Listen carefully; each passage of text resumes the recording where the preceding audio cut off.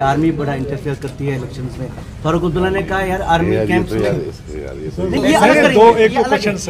तो अलग है, वो हो गया। देखो मैं मतलब फारूक साहब एक सीनियर पॉलिटिशियन है लेकिन आर्मी या एजेंसीज अगर इंटरफेयर करती हैं तो वो रोल तो एटलीस्ट वो रोल एटलीस्ट हमें दें क्योंकि we have been victims of rigging and Farooq साहब has been a benefactor that the robber of 1987 will actually talk about this अब थोड़ा सा तो शर्म आनी चाहिए ना। मतलब ये रोल तो हमारा बनता है ना। मेरे फादर की रिगिंग हुई 87 की रिगिंग हुई, जो अभी तक मतलब 87 की रिगिंग से ये हुआ, लगभग एक लाख लोग इस वक्त कब्रिस्तानों में हैं। सत्रह साल के बच्चे, अठारह साल के बच्चे, बाईस साल के बच्चे, पच्चीस साल के बच्चे। और उसके बाद वही जो कारण बना इसका, जो कॉज है इसका, वो आज रोए। तो बिल्कुल है इंटरफेरेंस है लेकिन वो हम बोलेंगे। इंटरफेरेंस हमेशा हमारे खिलाफ थी।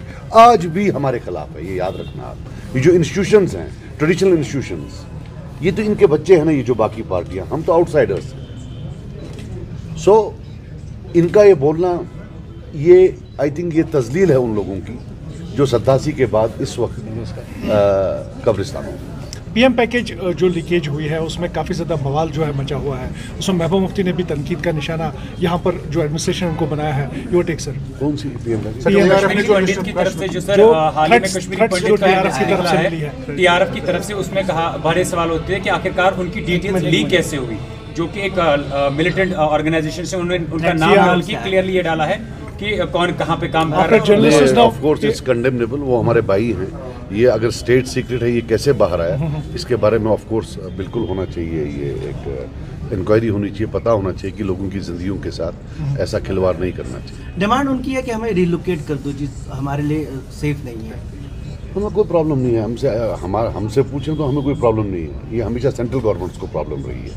ये कश्मीरी पंडित्स को चाहे पहली सेंट्रल गवर्नमेंट थी कांग्रेस की या आज की तो ये उनको प्रॉब्लम रही है रिलोकेशन की।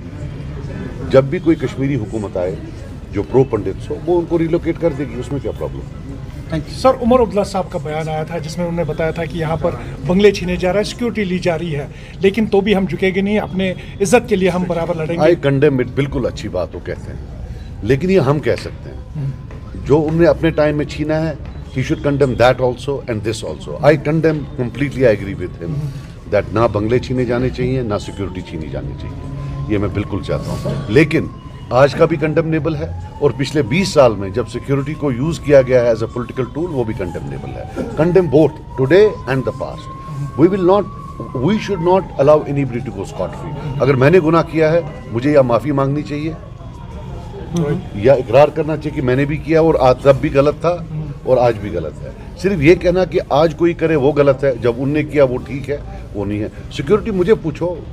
जब मेरे फादर की डेथ हुई जब उनको मारा तो फारूक साहब chief he did not give me security for at least six months मेरे फादर की डेथ हुई। थी जब मैं फादर के फ्यूनरल पर गया वहाँ सिक्योरिटी नहीं दी उन्होंने। बोला नहीं देंगे। ये इतने जालिम लोग हैं आज जब रोते हैं थोड़ा दिल खुश भी होता है टू बी वेरी में जो लिस्ट निकला जिसमें क्लियरली जो है उनको थ्रेट मिला तो उस पे आप क्या कुछ कहना चाहेंगे सेंट्रल गवर्नमेंट को लेकर?